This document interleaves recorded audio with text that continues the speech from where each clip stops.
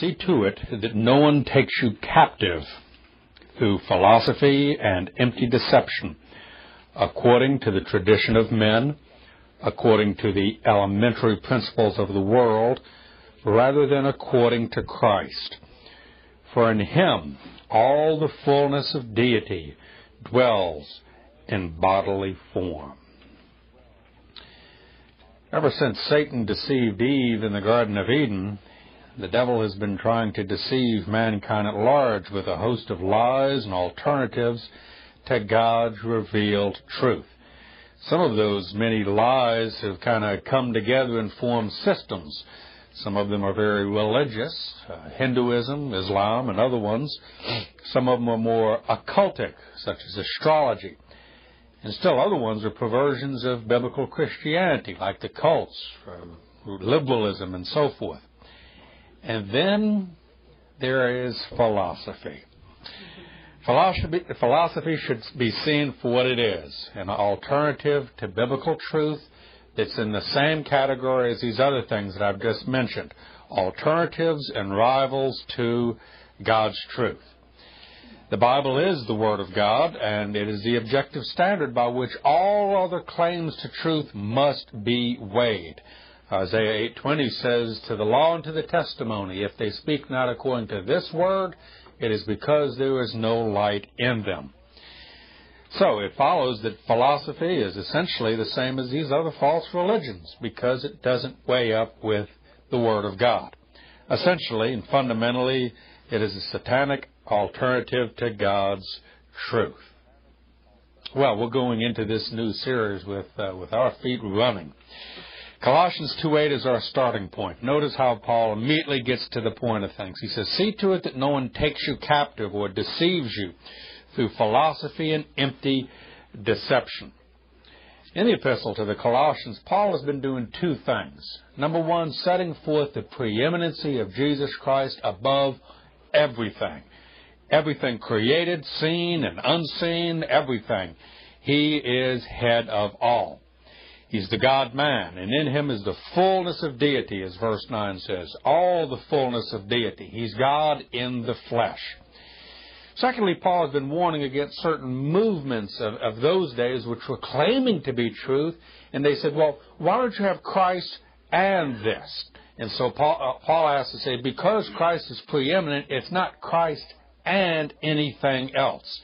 Christ and means Christ shares equal billing with these others, but Christ is preeminent above all others. Some of these other movements then were more Jewish, some of them more uh, things like Gentiles and mystery religions, but they all detract from Christ, and for that reason, preeminently, they are false and dangerous. It's in this context that Paul now levels his warning in verse 8 against philosophy. You'll notice that Paul says here, don't let anybody take you captive through philosophy. He doesn't say, well, let me commend philosophy to you. No, he condemns it. He does not say that, well, there's much we can learn by reading Plato and Aristotle. No, he would appeal to Moses and the apostles and the prophets. Paul warns them, and Paul warns us about philosophy. And so, since it's dangerous, we would be well to beware of those that promote philosophy in any shape or form as the ultimate claim of truth. Now, notice in the text that Paul uses the word philosophy, and he uses it in the singular. There are many schools of philosophy, and there are many philosophies, and many kinds of philosophers. But Paul lumps them all together here in this single warning, for he is saying that they are all wrong and that they are all dangerous. Some philosophies, of course, are much closer to the truth than others. Some are, uh, don't even believe in God, various forms of atheism. Other ones do believe in God. So obviously some are closer to the truth than other, others. But that's the same thing with foreign religions, too. Islam is closer to the truth than Hinduism, but does that mean that we should all learn from the Muslims and study the Quran because that can supplement the Bible? No, the Bible is our standard, and that is the repository of God's revealed truth. So the Bible condemns all false religions, and it also, in this text, levels a blanket condemnation of all non Christian philosophy. Now, As I said, we're hitting this study with our feet running on the ground. Someone's going to say, man, this guy turns on his engine in fourth gear. He, go, he, he goes awfully quick. Why? Because that's how the Bible does. The Bible doesn't work up to it and say, you know, there's not, there's a lot we can learn from it. It's not that bad. And then eventually says, well, it's, it's weighed in the balances and it's not really as good as it says it is. No. The Bible comes right out and explicitly warns us. And so we would be very well advised to hear the warnings of this verse and other ones we'll look at this morning. So God is the truth. And he knows that philosophy, like any false religion, is damnable and dangerous. So is it arrogant to say all philosophies are satanic and dangerous and so forth? Is it arrogant? No, because God knows otherwise, and if He says they're dangerous, then it's necessarily true. There are, as I said, many different kinds of philosophy, just as there are different kinds of false religion. And uh, we are warned about them, and so it's useful to know what they are uh, the different kinds of philosophy. So that's what we'll be doing for the next few weeks, is kind of doing a brief survey of the different systems of philosophy and see how do they weigh up with the Word of God. Scripture itself addresses some of the false religions and philosophies. You'll be surprised. The Bible may not mention Aristotelianism, but the essence of Aristotelianism is mentioned in the Bible and it's warned against. Same thing with atheism and pragmatism and so many of the other philosophies. So what we're going to do is uh, do a brief survey of them and see how does the Bible estimate them. Paul in this verse lumps all of them together for one main reason. Some are closer to the truth than others. Some mingle truth and error, uh, uh, 80 20, 60 40, 50 50, but they all share the same fundamental error. And that error is this they do not cling to Christ primarily and above all. And that's the context of Colossians. Christ is first. Philosophy clings to human reason as its standard. That is the main thing, not divine revelation. It clings to man, not Jesus Christ. Notice what else Paul associates with philosophy. He mentions philosophy, empty deception, tradition of men, elementary principles of the world. And all those kind of go together. They're the four sides of the same uh, square here. And they all go together. Philosophy goes together with empty deception. I think I can think of no better term for philosophy than that. Empty deception. Pretends to promise so much. Oh, yes, we're great. But it's like a, a hollow bag of hot air. Good on the outside, empty on the inside. Pretends to be profound, but it's found to be folly. Now, it's important at the outset to realize all this, lest we fall into the clever ploy of philosophy itself, its own PR, its own advertisement. The idea of philosophy is that, well, a person can hold to Christ with one hand if you want to, and to philosophy with the other. But that is incorrect, and that's exactly what Paul warns against. He says that uh, you cannot cling to both of them at the same time because that's as ridiculous as trying to hold on to two horses running in opposite directions. It'll tear you apart. You simply cannot do them. 2 Corinthians 6 exhorts us that there's nothing in common between opposing forces, such as Christianity and Islam, or Christianity and astrology, or Christianity and philosophy. Again, we hit this uh, with our feet on the ground running because the Bible is very explicit. This is the most explicit verse in the entire Bible on philosophy. So that's why, why it's our keynote to begin. And if we kind of worked up to it and paid a lot of compliments to philosophy, we would not be servants of Christ. Text also says that philosophy is associated with the tradition of men. In other words, it comes from men, speaks about men. It's human wisdom, not divine wisdom. Paul also says it's according to the elementary principles of the world. That's kind of an unusual phrase in the Greek that can mean various things, but basically what it means is it's, uh, it's, it's worldly wisdom, not heavenly wisdom. It comes from the world, it's of the world, it speaks of the world, but it's blind darkness. There's another passage we can turn to very briefly. Turn over to 1 Corinthians chapter 1. And although the word philosophy does not is not found here, the idea is in uh, Roman in 1 Corinthians 1 verses uh, 18 and following, Paul contrasts the preaching of the cross on the one hand and the wisdom of the world on the other. Verse 20 he says, Where is the wise man? He keeps mentioning wisdom. Verse 21 Since in the wisdom of God, the world, through its wisdom, did not come to know God. What's philosophy? Worldly wisdom. Its wisdom, trying to seek after God or explain God, explain the cosmos, it did not come to know God. It's only through the preaching of Christ and Him crucified that a person comes to know true wisdom. So uh, Paul warns about worldly wisdom here and points to Christ. Uh, philosophy does not lead to God, but more than that, it leads away from God, and it breaks all of its promises of great truth and wisdom. But notice also in the text, Paul mentions some of these uh, wise men. He says, you know, the wise men of, these, of this world, they laugh at the gospel. It's foolishness to them.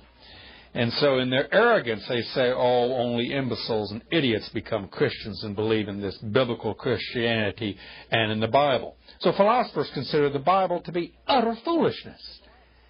But God's estimation is the exact opposite. He considers the gospel to be ultimate profundity and wisdom. And the philosophies and worldly wisdom of this world is utter foolishness to God. So philosophers laugh at Christians but God sits on his throne and laughs at the philosophers, and I'm sure the angels also laugh. Notice something else is very crucial in what Paul says here. Look at verses 24 and 30. Here he says, um, he says, Christ, the power of God and the wisdom of God. And then in verse 30, for by his doing you are in Christ Jesus, who, Christ, became to us wisdom from God. What Paul is saying here is Christ is the wisdom of God. You want to know what wisdom is? Go to the Lord Jesus Christ. Philosophy is wrong for the simple fact that it usurps the place that belongs solely to Jesus Christ. Question. Does anybody know what the word philosophy means? If you want to be wooden about it, it love means love of wisdom. Love of wisdom, yeah, be very wooden. That's what it means. They they claim to love it and to know it and to cherish it and seek after it, but uh, Christ is the very wisdom of God. True philosophy, as it were, is the wisdom that loves Christ. Worldly philosophy steals from him that which is his by nature and right and doesn't truly love Christ. Philosophy, then, is only erroneous. It's not truly a love of wisdom. It's a love of pride and self and it's intellectual arrogance. Well, this passage here tells us a lot about true wisdom as opposed to worldly wisdom, and the Bible tells us a lot about true wisdom, which can only be God's wisdom. I want you now to turn to one of the key verses on this, over in Proverbs chapter 9. Maybe sometime we'll do a uh, topical study on what the Bible says about wisdom. And if we do, this would be probably our key verse. Proverbs 9, verse 10. Old King Solomon wrote this The fear of the Lord is the beginning of wisdom, and the knowledge of the Holy One is understanding. Curiously, uh, Proverbs 1 7, Job 28 28, and Psalm 111 10 repeat this same phrase. You know, God only has to say something once for it to be true. But when He repeats it four times in His Word, we had better sit up and listen with both ears because He's saying something very important. What's the special significance? The special significance of this phrase is this. How can you possibly have true wisdom unless you start with the fear of the Lord? All those that claim to know wisdom and philosophy, if they don't begin with the ABCs, they'll never reach the X, Y's, and Z's. Philosophy does not fear God, and for that reason, it can never attain to true wisdom. If it starts in the wrong place, it can never end in the right place. So philosophy attempts to wrestle with wisdom, but it loses. There's another uh, great concept, as it were, that philosophy discusses in addition to wisdom truth. Well, there were three great questions in ancient Greek philosophy. Maybe you've heard of them. Uh, Plato and Socrates especially discussed them. What is justice? What is beauty? What is truth? Did anybody in the Bible ever ask, what is truth? Pilate. What was the, uh, the, the great irony of him asking that? He was looking at Christ Jesus in the flesh, who the Bible says is truth. Jesus himself said in John 14, 6, I am the way, the truth, and the life. So here's Pilate uh, sneering in a cynical way, looking at truth incarnate and saying, What is truth? Well, philosophy attempts to discuss truth logically or rationally and sometimes irrationally in many other ways. But again, its fundamental error is what?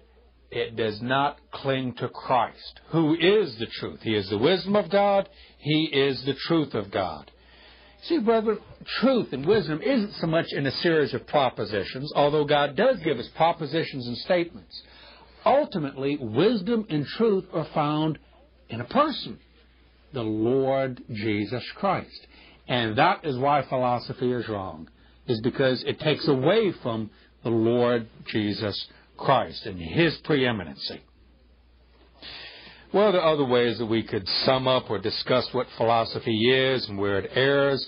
Uh, somebody said that philosophy is best summed up with a question mark, whereas Christianity is best summed up with a period, or better yet, an exclamation point.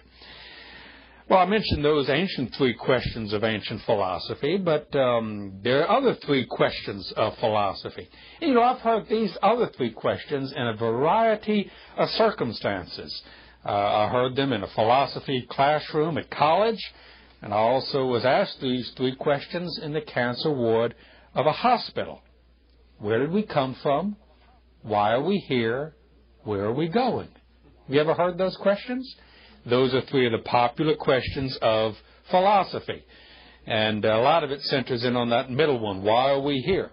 Other ones sum up philosophy with the question who am I? good friend of mine uh, with whom I go hunting every year um, remarked to me like this. We were talking and uh, saying, you know, the people they're always saying, uh, uh, "Where did we come from and where are we going?" He says, "Anybody keeps asking that shows he is he's lost. Where did I come from? Where am I going? Who am I?" Pure evidence is that he is lost. So philosophy asks the questions over and over and over again, but it gives the wrong answers because they are lost. Well, you might also sum up that great question of philosophy in one single word why? That's the question, I guess, above all, that they are trying to answer. Why are we here? Why does the universe exist? What is the purpose of anything, of everything, including me? Is there any purpose? For you that have taken uh, classes in philosophy, you know that sometimes philosophy teachers will give as their final examination to their whole class one single question why? That happened to me in college. I'd taken philosophy class, and this was before I was a believer, and that was the final exam. It, counted for something like 75% of our grade. Why? Now, he didn't want you to give a long discussion of what did Aristotle suggest, and Plato and Hegel and these others. Uh, he wanted to know what was our philosophy, and we wrestled with uh, the cosmos and truth and wisdom and so forth. Some students sought the easy way out. They just simply wrote down because. why? Well, because. Some other wag of a more cynical variety wrote down why not. And some would simply leave the paper blank because they don't know the answers and they're not even going to try. Well, the teacher maybe did. Uh, how, how do you grade classes like that if the teacher himself uh, is asking such questions? Um, he wanted to know what our philosophy was. By the way, I, I took that test um, a week after I became a Christian. I became a Christian when I was a uh, philosophy and art student at college, and all during the semester I had been uh, heckling the class, and I guess I was the most arrogant guy in the class, and always saying, "Well, the philosophy is this and that and the other." And then when I took the test, I just said I disown everything I've said this last term. Uh, philosophy is empty. It's Christ and Him alone. And I gave my testimony. Well, that teacher sure was surprised. He said, What? There must be two Curt Daniels, or he's playing a joke on me, or he's done one too many drugs or something. So I, uh, hmm? I think I got an A on that. But, uh, so uh, why? And I just basically said why. Well, I said because of Christ. Now I'm the teacher today. If I were to ask you why, the ultimate question of the universe, why? Anybody want to hazard a guess? One word answer. Christ, God. That's right. It gets back to God. Why did we? Uh, where did we come from? God. Why are we here? To glorify God. Where are we going? To meet God. Why everything? Because God. You know that great verse in Romans 11:36. Uh, from Him, through Him, to Him are all things, to whom be glory forever and ever. Why does God do things? God does everything to His own glory. You could say God does things to and for God. So that's the, the ultimate answer to the ultimate question, but philosophy doesn't say that. It may come close at times, but uh, it still basically fails God's test. As I said, I was a philosophy major in college for a few years, and uh, I'm not an expert in the field of philosophy, but at one time I was very enthralled by it. And I was asking these same sort of questions. Some of y'all never had to wrestle with that. Maybe you were raised in a Christian home, became a believer very early on, but I didn't. And so uh, I wrestled and read some of these philosophers and thought they were very profound, and some of them confused me, and other ones I said, "Boy, that's such great stuff." But somewhere in my memory, I remember hearing someone say, "Read what the Bible says." There's especially one book in the Bible that addresses philosophy, the book of Ecclesiastes. And so uh, I got my Bible out and dusted it off, and I read, found out where Ecclesiastes was, and I was enthralled by it. And so I read it over and over and over in anguish and in tears. And anybody that wants to study philosophy would be well directed to read the book of Ecclesiastes. Ecclesiastes was written by Solomon, who wrote most of the Proverbs, and he wrote it under the inspiration of God. The Bible also tells us that Solomon was the wisest man that ever lived, except, of course, the Lord Jesus, who is not just a mere man. In the book of Ecclesiastes, Solomon was what? He was running from God. He uh, was a philosopher, as it were, the greatest philosopher who ever lived. He had God's answers and he knew true wisdom, but because of sin, he began to run away from them and run into the world. And running into the world, he ran through the ways and byways of philosophy. And he tried them one after another after another. And you can trace through his run through the jungle in uh, Ecclesiastes most of the major philosophies. He tried rationalism, he tried irrationalism, he tried hedonism, and so forth. And he tried them all and found they're all dead ends. I'm glad Solomon put it like that. He says it's striving after wind, it's dead end. And so uh, he says it's return to God. closing chapter in Ecclesiastes, he sums up true philosophy. He says, Fear God and keep his commandments, because we shall all one day appear before God. Fear God. That's the beginning of wisdom, as he elsewhere says. Maybe you know someone that's wrestling with philosophy, a philosophy major at college, or that likes to dabble in great philosophers and the worldly wisdom. Maybe you yourself are wrestling with these questions and wondering how much is there in philosophy, and maybe you don't know the ultimate questions. I'm not sure if you do or not. But if you do, if you're wrestling with these things, I encourage you, study Ecclesiastes. If you want to know what is the meaning of life, study Ecclesiastes.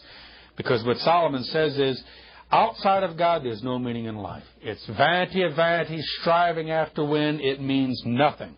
But if you turn that around, that means in God, there is true fulfillment. There is meaning in life. There is true wisdom. Let me relate to you another little incident that uh, may interest you. These were in the days before I was a Christian and I was still enthralled by philosophy. And I was getting a little proud of it. You see, if you're going to go into philosophy, get ready for a lot of pride. Well, one afternoon, I received a phone call at home uh, one afternoon from uh, an old lady that used to live next door to us when I was growing up. I hadn't seen her in years, and she still remembers little Curt, you know, in short pants playing in the mud. So she says, "Oh, Curt, how are you doing?" I said, "Well, fine. Well, what are you doing these days?" I said, "Well, I'm I'm at college. What are you studying?" I'm I'm studying philosophy, and I expected her to say, "Oh, that's wonderful. You must really be smart." You know what she said? She says, Oh, Curt, why do you want to study that? Don't you know what the Bible says about philosophy? All you need is Jesus Christ. Now, I was dumbfounded, you know. I, I, I was speechless. What could I say? How do you argue with an old lady that says something like that? She'd never heard of Socrates or some of these great philosophers. Uh, but that did something to me. It kept me awake at night, and it, it, it shook me to my very soul. Uh, it haunted me. Curiously enough, a few weeks later, something very similar happened. I was walking through the park, and a young man approached me and handed me a little religious pamphlet and said, Would you like to read this? And I said, Well, oh, that's something religious, isn't it? So we uh, talked for a few minutes, and he tried to make conversation. He says, Well, what are you doing? And I said, Well, I'm a college student. Oh, what are you studying? Philosophy. Don't you know what the Bible says about philosophy? And I was thinking, that lady, I'll, I'll kill her. She put you up to this. Uh, it's like God had his bloodhounds on my trail. And uh, sure enough, he did. And uh, it was just a few weeks or months later that the, uh, the hound of heaven caught me and brought me to Christ. But they both said, Don't you know what the Bible says about philosophy? And they addressed uh, me to uh, Ecclesiastes and Colossians 2 and passages like that. So um, God was on my trail and He caught me, and Christ captured my heart and my mind. And uh, He flushed out all the sin and the philosophy. And uh, you see, when you come to Christ, you now know what truth and wisdom is, and you see everything else in a completely different light. When you come to know Christ, you come to know He, Him who is truth and wisdom and goodness and life. Well, there's some other passages we could mention um, in the Word of God that mention philosophy one way or another. Acts 17, that's a good one to look at sometime. Uh, here's Paul the Apostle going right into the very fatherland of philosophy, into Athens. And we're even told that he uh, he debated some Stoics and Epicureans. Who are those? Those are two of the leading philosophies of the day. In a few weeks, we will uh, give a synopsis of them. But what did he do? Did he have dialogue with them and say, you know, you know, you're not, you're not too bad, you know, and the Stoics have much to offer? No. Text says he preached Christ to them. You see, each time, each of these texts gets right back to the Lord Jesus Christ. Now, the key passage is Romans 1. Over the next few weeks, you'll be surprised to see how many of the questions and objections of philosophy can be answered and refuted by Romans chapter 1. In that chapter, Paul says that all men everywhere know that God exists, but they resist that knowledge, and so their minds are blinded by sin, and they think that they are wise when they are really fools. And so they end up worshiping the creation rather than the Creator. Among other things, that and other passages teach us something very fundamental about anthropos philosophicus, philosophical man. The truth is this Man is an enemy of God in his mind. It's blinded by sin, and he uses his mind as a weapon against God, as a weapon to commit a cosmic treason, as it were. Philosophy says man's mind is neutral, and you can use it properly through deduction and logic and so forth, and come to know truth and wisdom. Uh-uh. It's not neutral. It's not objective. It's not unbiased. It's at enmity with God. One uh, leading Calvinist writer has written at length about what he calls the, I like this phrase, the pretended autonomy of human thought. Philosophers and the great thinkers, they pretend to be autonomous, neutral, and objective. That's a big pretense. It is absolutely impossible. Uh, they pretend to be objective, but that is incorrect. They're not seeking after God. Romans 3:11 says, "No man seeketh after God." Man is not objective in his mind. It is highly biased in favor of sin, the devil, and sin himself, man. The mind of fallen man is blinded by sin, and he doesn't even know it, nor is he capable of knowing what truth is. It has to be revealed to him.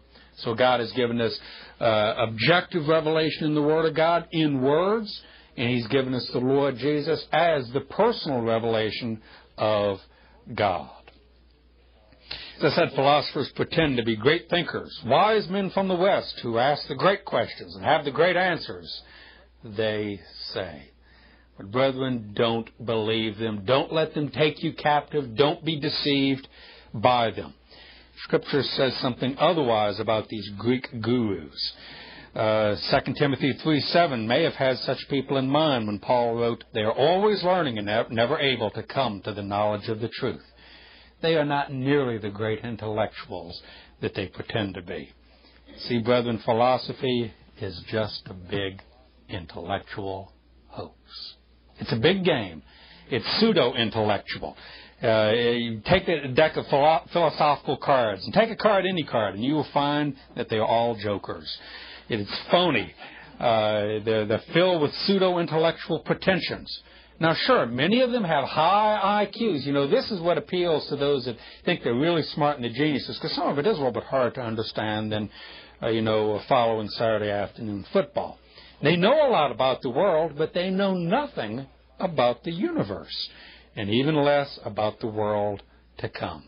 But let me let you in on a little secret that most of the philosophers have never even considered. The least child of God knows more about wisdom than the greatest philosopher. That little old lady that lived next door to me had never heard of existentialism or Nietzsche or any of the others, but she knew more about truth than a philosophy major at college or any of the other students or the professors.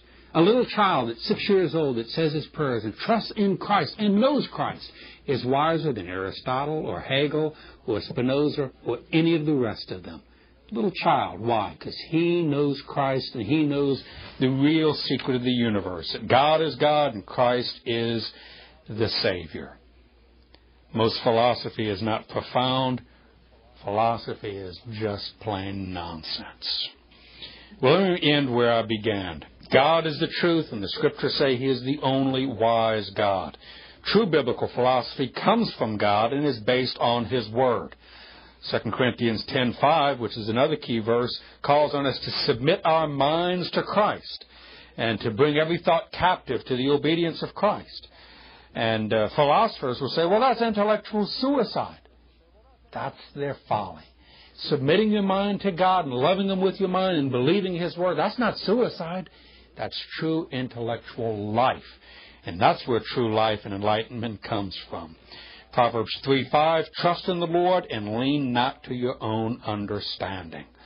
And ultimately, as we've reiterated over and over again, true wisdom means trusting Christ, clinging to Him. Also means resisting Satan, who is the arch philosopher of all false philosophy. The devil is behind all philosophies, and so we ought to be warned against them and him. Fellow believers, trust Christ and be warned of philosophy. 1 Timothy 6:20 Guard what has been entrusted to you, avoiding worldly and empty chatter and philosophy, and the opposing all arguments of what is falsely called knowledge, which some have professed and thus have gone astray from the truth. If you trust Christ, you will never go astray because He is the uh, anchor. Weigh Christ in the balance. Put just Christ over here and put Aristotle and Spinoza and all the philosophers, and they will be weighed in the balances and found wanting. wanting.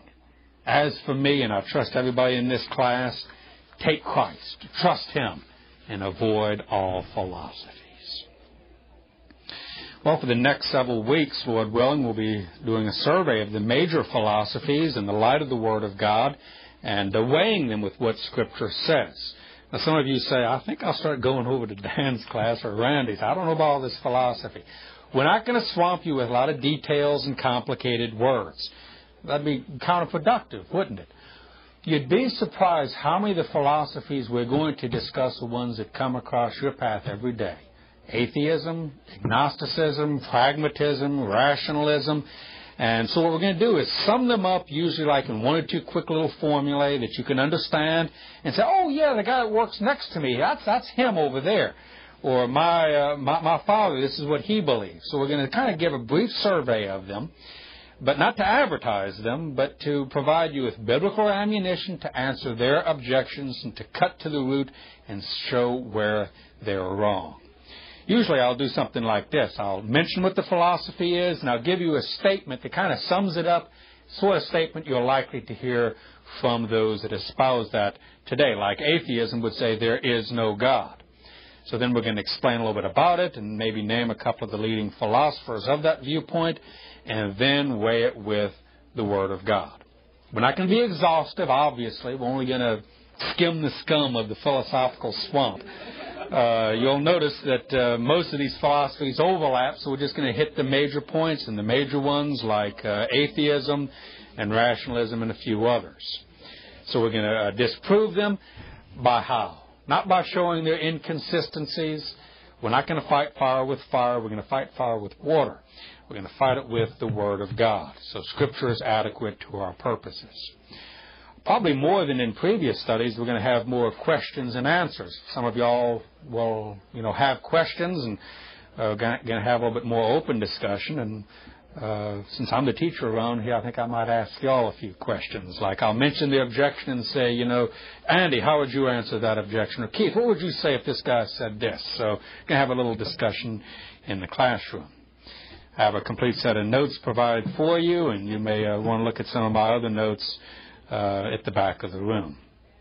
Lastly, very briefly, uh, there's a couple of good books that you may want to read. Uh, there's one that's a good uh, history of philosophy by a uh, Christian who's also a Calvinist, Thales to Dewey by Gordon Clark. Keith, I believe, is reading it right now. It's a, it's a, Thales to Dewey? Yes. And then there's some good books on apologetics by Cornelius Van Til and others that defend the faith against philosophy.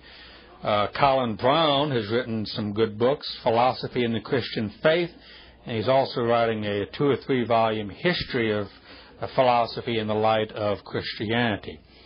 Oh, and there's several other ones if you're interested. Does anybody have any questions on just this introduction to our series? Yes. dealing with philosophies and we may not be aware that we're that's in our lives that are affecting us. Hmm. Just there, we just don't realize. Yes, yes. Uh, we'll be mentioning these, and I'll give you the technical term like humanism. That's one we hear a lot about. A lot of the world says, well, there's no such thing as humanism. Well, it, it's like air. Well, air is everywhere. Humanism is just so prevalent. But I won't snowball you with some of the rather intricate and detailed ones, but just the major ones. Anyone else? Do you think it's possible to make a distinction between philosophy as as opposed to the Word of God and philosophical questions that we have to involve ourselves with for dealing with the Word of God? Like how do you how do you interpret the word? Yes, uh, a lot of their questions are valid questions, but they give the wrong answers. Like why are we here? How do we know what truth is? What is the nature of God, man, the universe? Uh, is this real, or is this only a figment of my imagination? Those are the sort of questions. So it's not, so it's not the questions that are wrong; it's, it's the answers. That's usually correct, yes. Sometimes they ask uh, the wrong questions, so they get the wrong answers. But a lot of the questions they ask are correct, but they give the wrong answers. Well, let's pray. Our Father, we know that you are true wisdom. You are the truth, that you have created us for your own glory. We thank you that you have given us your word that tells us about yourself and introduces us to Christ who is true wisdom and true truth. We thank you for Christ. He is precious to our souls, and we submit our minds and our hearts to Him. Take us by the hand, O Lord, and lead us through these uh, these difficult waters as we see how the turbulent waves of philosophy try to push us to and fro. But Lord, be our stay in life, in our mind as well as in our hearts. Lead us, O Lord, through these, these difficult questions and show us more of the beauties of Christ. For it's in his precious and most worthy name that we pray. Amen.